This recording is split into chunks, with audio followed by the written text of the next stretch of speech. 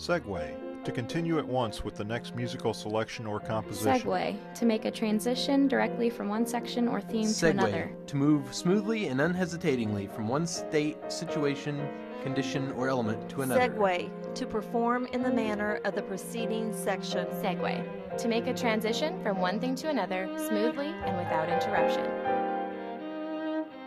This is Segue with Dean Aldemaro Romero, a weekly program exploring the lives and work of the people of the College of Arts and Sciences at Southern Illinois University, Edwardsville.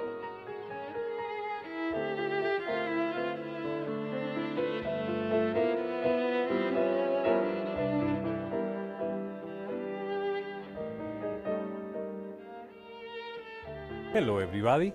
A number of Chinese scholars are visiting Southern Illinois University, Edwardsville, as part of the exchanges that we have with that country and our university.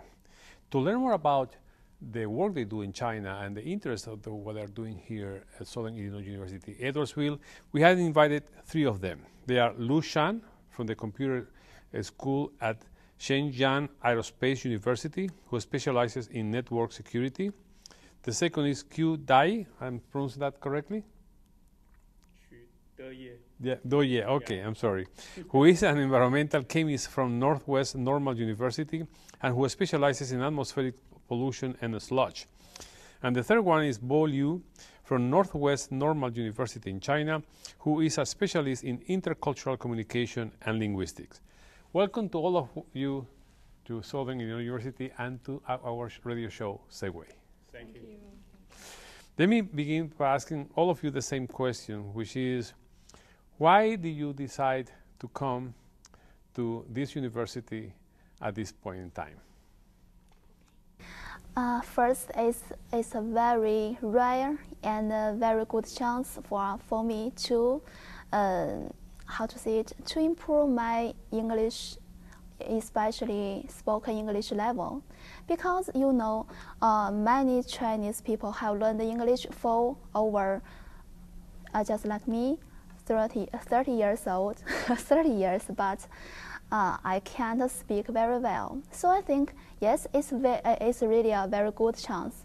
And the second is I want to visit and I want to know how uh, Western educational system works. Yeah.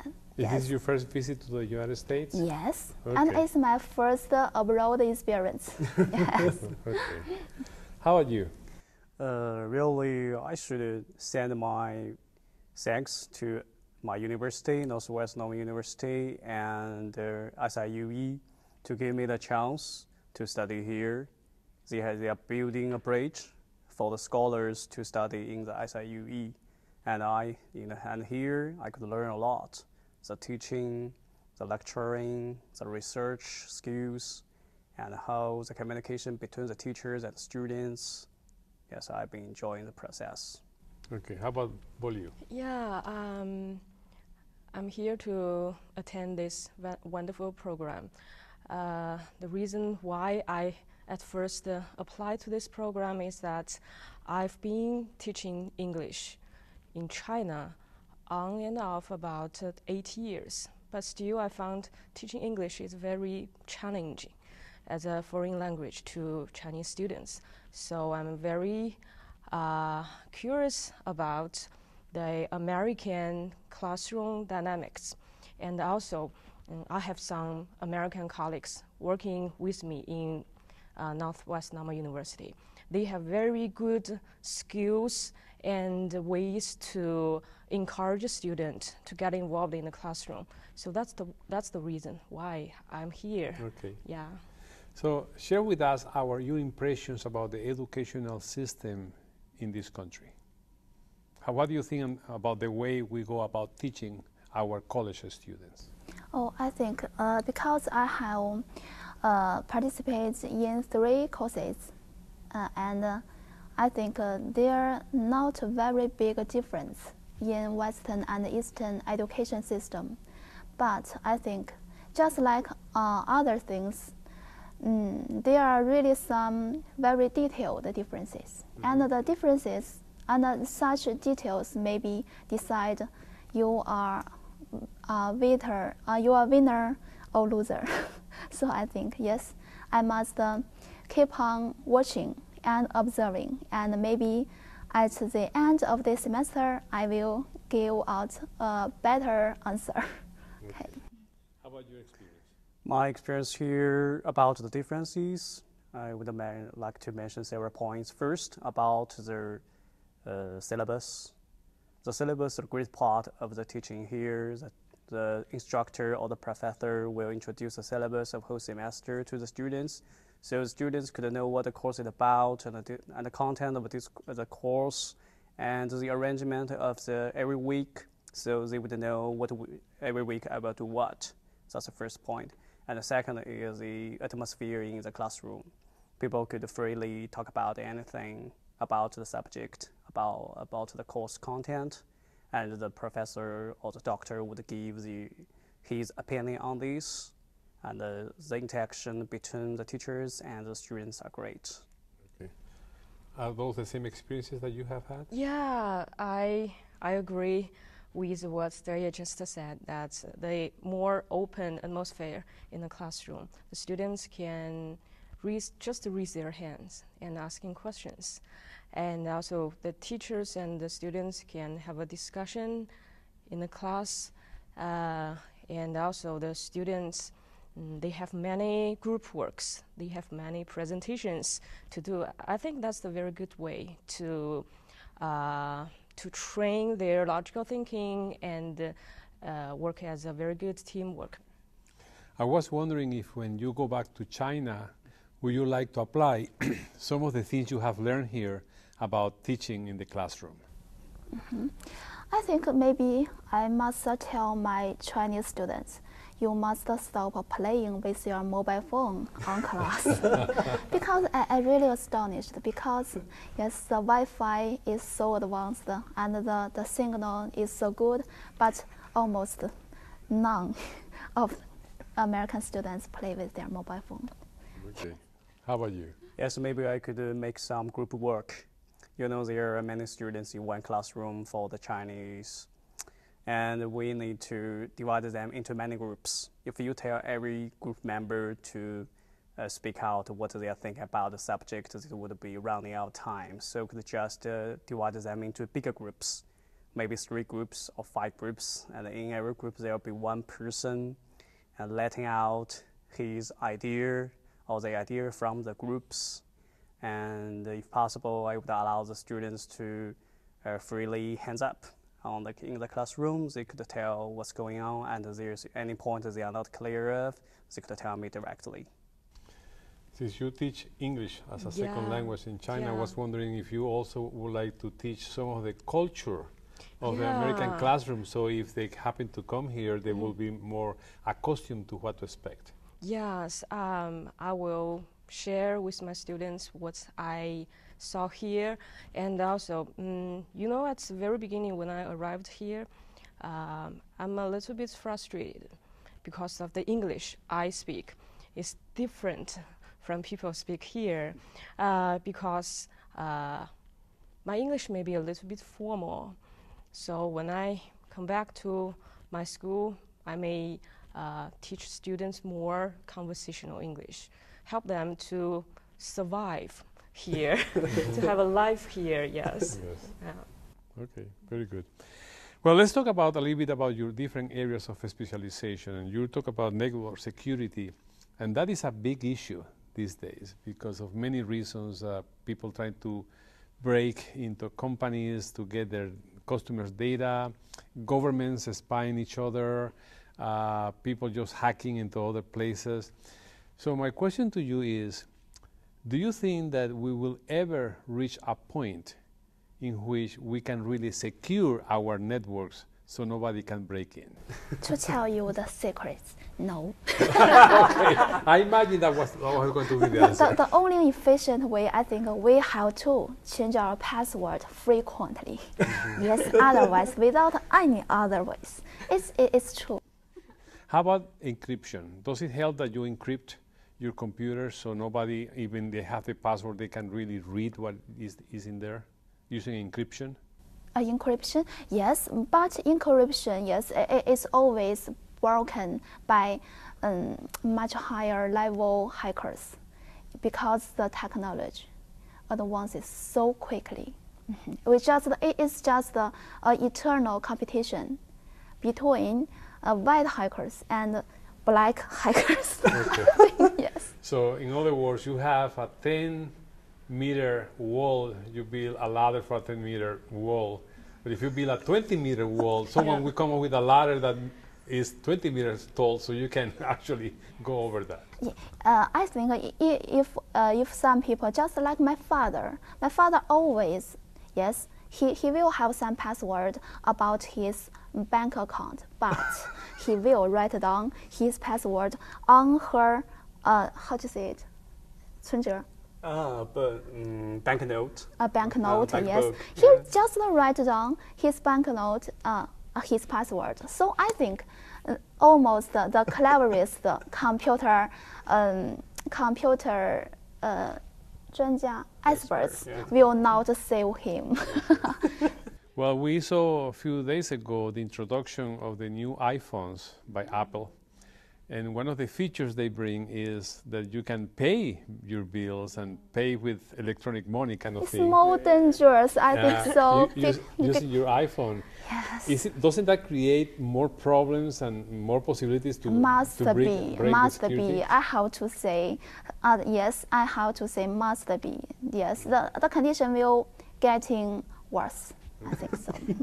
Especially someone always lose their mo- mobile phones, and uh, the, the, the condition will will get worse. Well, let's talk now about a little bit about the issues of pollution in, in China. Uh, uh, China has seen a tremendous industrial growth in the last 20 years or so. And of course, that means that there is more pollution because there are more cars and more industry. What is the situation of environmental pollution in China at the present moment? Generally, the pollution is very serious, but the good news is that we are raising the, the awareness of polluting the environment. You know, we have a, a five-year plan for the government. The government will plan what they will do for the pollution control in the next five years or ten years. And for air pollution, for soil pollution, maybe there are specific problems. For example, for the air pollution, we are attaching importance uh, we are focusing on the particulate matter, we mean PM 2.5, and we focus on the concentration of PM 2.5 and uh, what is in it, and whether it is bad for our human health. And for the soil, maybe we are focusing on the organic matter and organic pollution or the heavy metal pollution. But uh, maybe the, the situation is worse, but we are getting the awareness of protecting it from any means we could make. Okay. Uh, has China gone the full transition from leaded gasoline to unleaded gasoline? Yes. Okay, so you don't have that problem anymore. Uh, maybe you know the lead in the gasoline is banned in our uh, country, and there maybe there are lead you know beside the pavement, beside the road, and it is accumulating every year. So maybe one day, even if it is banned, but maybe the soil maybe is rich in lead, and maybe bad for the for the plants or the animals beside it. Now, uh, I've seen many videos of the issue of pollution in Beijing.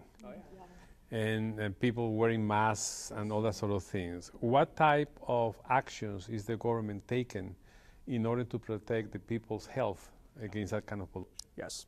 For the air pollution, the government is taking every means to stop it, such as control the cars, uh, to control the car exhaust, and to control the heavy industry, heavy industry along, uh, maybe around Beijing. And another, uh, other points I will mention is that the government is trying to um, maybe spray water spray water to make the vapor into the air so it could dr- drain down, drain down the particles to make the air clean. Or sometimes it would ban the firecrackers during the festivals. Okay. Some countries that have seen this huge increase in the number of cars have come up with measures such as depending upon the last number of the plate of your car, you cannot circulate in a particular date of the week. Has China developed that kind of restrictions in order to uh, reduce the number of cars that are out there at the same time? Oh yes, Well, now trying every means to reduce the cars. Uh, and in Beijing, they would, you, if you want to have a car, you have to wait until you get the privilege, and it is really hard. The percentage is very lower. And for many, uh, many other cities, such as maybe Tianjin, are also doing the same thing. And in our, in our city, my city, Lanzhou City, we don't, we don't have such uh, act. Uh, we are trying to do, reduce the pollution by uh, stop the cars by single, single number and double number. For the last number, for the last number, yes, okay. yeah, doing such things. Okay, sounds good. How about industrial pollution? And I'm asking this question because unlike the United States or, or Europe, the government owns the big industry, the big heavy industry. Shouldn't that allow for the government to step in and create more regulations to control that kind of pollution, or that doesn't work that way? Yes, for heavy industry, we have ever heard about environmental impact assessment. We have such regulation in China. If you want to put put up a new industry, you should have your EIA, environmental impact assessment. If the assessment is passed, the industry will build up. But if not, it can't be put into practice. But in reality, it is that for the heavy industry, especially government, um, controlled by the government, it could go through.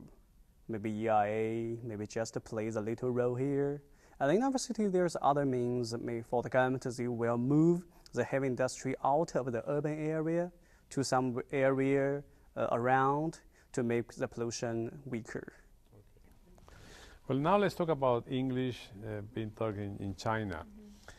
Would you say that the vast majority of Chinese who are interested in le learning a, a, foreign language, yeah. they study English? Yeah, yeah. Many. Mm, I think that the population in China, the, po the English learning learners, uh, maybe the, the the biggest. Uh, we have the biggest number of English learners in China. Uh, but unfortunately, I don't think our English education uh, do a very good job because uh, many of um, the English learners they are good at writing and reading, but they cannot speak. Um, they are not good at uh, uh, listening comprehension, mm -hmm. communicate with other people. Yes, I, I think that's the big problem in uh, English education in China. Another thing that probably many people don't know is that in China itself, people speak many different languages.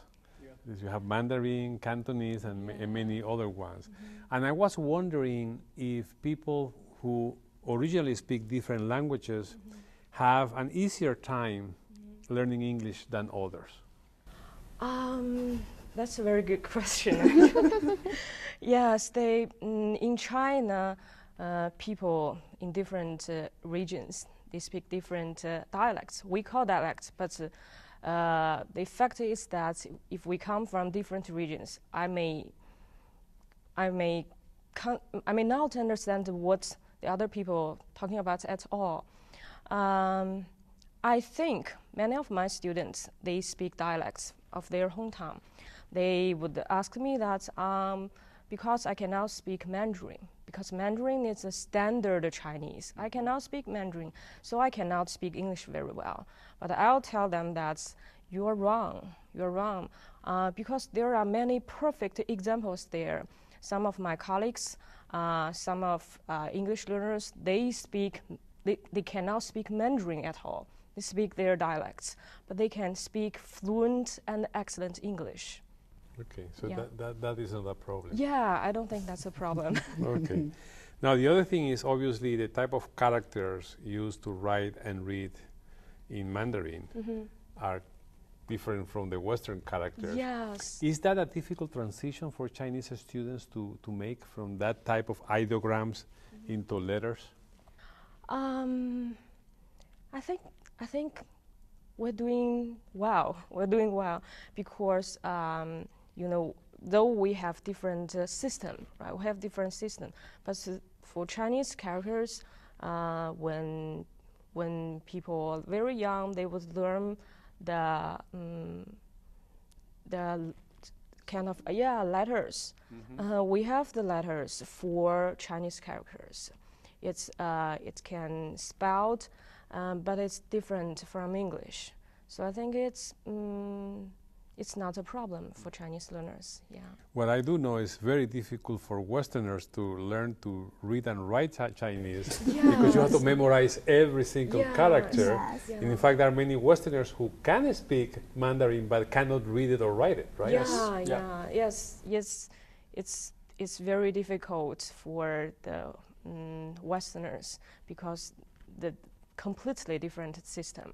And uh, one of my um, one of my classmates here in in SIUE, uh, he asked me that, oh, you have many stro- uh, strokes uh, in in Chinese characters, uh, and I read that you have to there is a certain order for uh, one Chinese character. And he asked me, Is that true? You have a certain order? I said, Oh, yes, we have that. okay. And, and the uh, other question, of course, Mm-hmm. is how many of those characters do you have to learn to, for example, read a newspaper? oh, I think maybe um, thousands? 3,000? 3,000? At least, at least. At- at At Yeah, least, least, yeah. Okay. Mhm. And I guess if you go into the university, have to read more complex tests, you have to probably know 5,000 or more, right? Yeah. Yeah, but I think it's just the same in English because um, there are, ma- according to us, there are many, many words, a large vocabulary in English, right? Yeah, but uh, I think, mm, yes, it's a very pain for Chinese students to learn English because you have to memorize all the words. But here, when you live a life here, you don't need those large vocabulary. You are very good at using small words, I think.